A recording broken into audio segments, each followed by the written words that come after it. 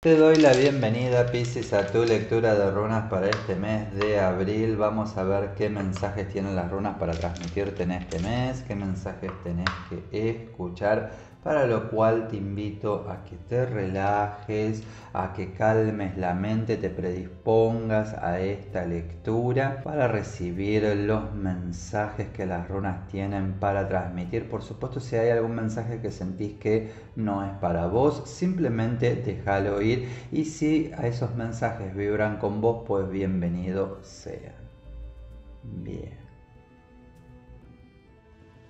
Vamos entonces con tu lectura de runas. A ver.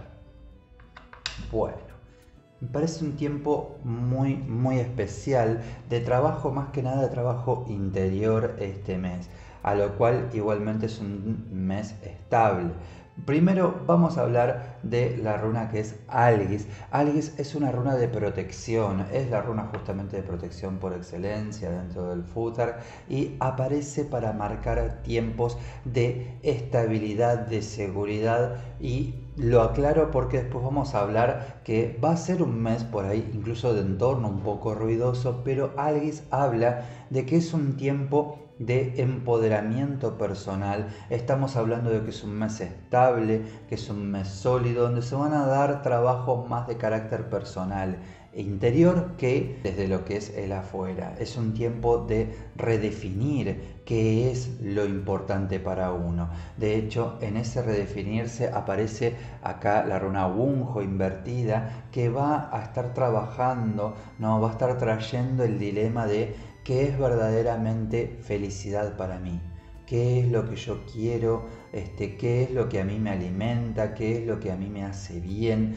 qué es lo que me gustaría experimentar y, vivir. A veces creemos que para nosotros felicidad es poder viajar este, todo, todo el tiempo o poder hacer determinadas cosas. Y acá habla de que no se trata por ahí de eh, qué hacer, sino con quién. No se trata de cuánto obtenemos económicamente de la vida, sino cuánto podemos vivir, disfrutar, qué estabilidad nos ¿no? Habla esta runa de un tiempo de trabajo donde se va a estar redefiniendo desde el área concreta hasta el área emocional. En todos los aspectos va a estar trabajando esto de redefinir qué es lo que me alimenta, qué es lo que me hace bien.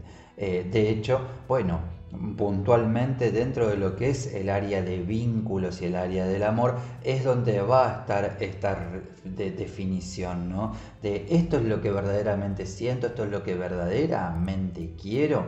De hecho, eh, esta runa que aparece acá, que es Raido, aparece para marcar un tiempo de quietud. Raido, que es la runa de movimiento, cuando aparece invertida, marca un tiempo donde se recomienda aquietarse. Y en este aquietarse eh, justamente está hablando de no tener ansiedad, es decir, aceptar que hay tiempos de, como hay tiempos de correr, como hay tiempos para salir a hacer, salir a la acción, hay tiempos necesarios que son también para la quietud. Y la quietud también es una forma de movimiento, porque si yo logro redefinir frente a lo que verdaderamente siento y quiero, si hago mi trabajo interior en cuanto a reconocer qué es lo que verdaderamente me trae felicidad, pues bien, después me voy a aplicar en el día a día en consecuencia que si no hago ese trabajo interno, sigo corriendo por correr, sigo haciendo cosas por ahí en sentidos, algunas sí en sentidos que me aportan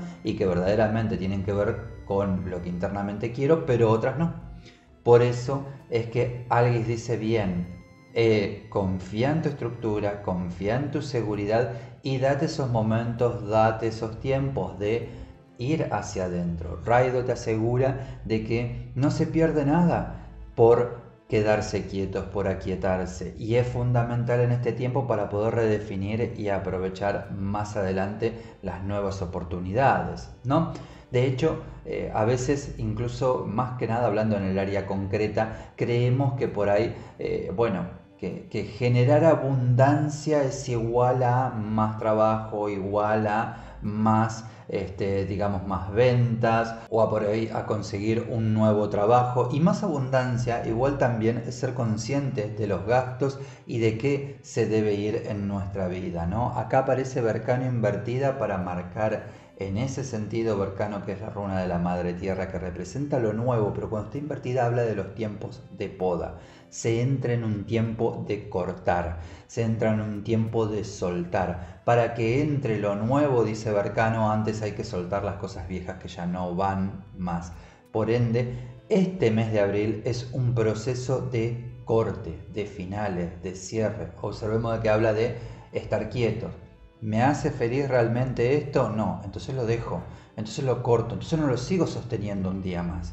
No sigo sosteniendo las cosas que no me alimentan, los vínculos que no me alimentan o aquellas cosas que laboralmente me doy cuenta de que, bien, pongo mucha energía en esto y no me da abundancia y pongo poca energía en lo otro y eso sí me está dando un crecimiento, me está permitiendo salir adelante o mover, pues bien, corto aquello que ya no me aporta. Es tiempo de poda, de cortar, porque de hecho va a decir Barcano que, eh, bueno, eh, así como en el otoño, ¿no? Los árboles sueltan las hojas para fortalecer el tronco, resistir el invierno y después de esa manera crecer y vemos que en primavera los árboles están más frondosos que nunca, pues de la misma manera tenemos que hacer nosotros. Tiempo de otoño, tiempo de dejar ir, tiempo de soltar, cortar para que al mes siguiente entremos en ese tiempo de crecimiento, ¿no?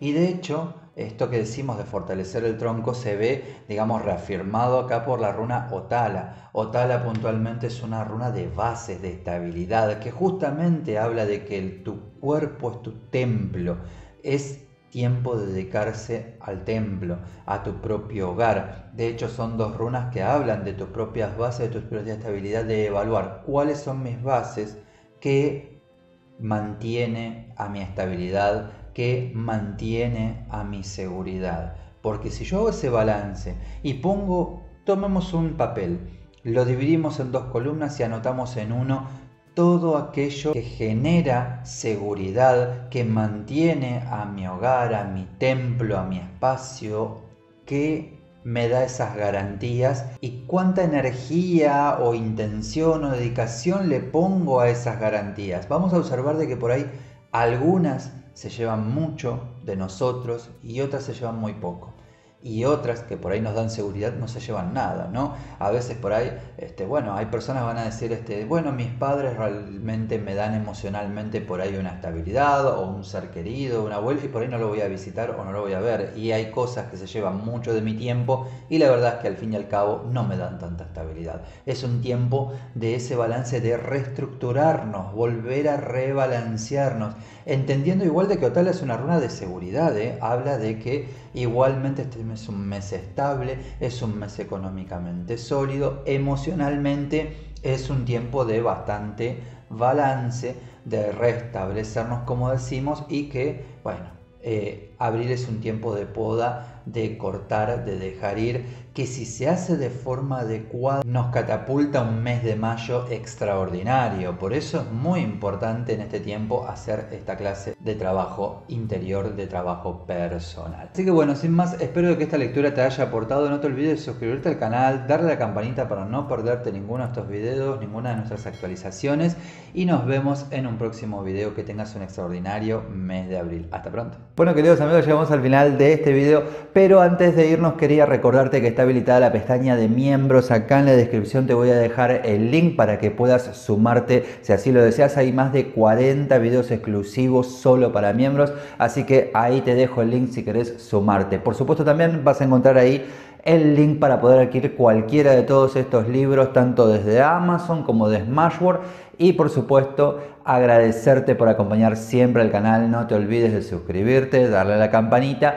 Y acá te dejo otro video para que sigas disfrutando del mundo de las runas. Hasta pronto.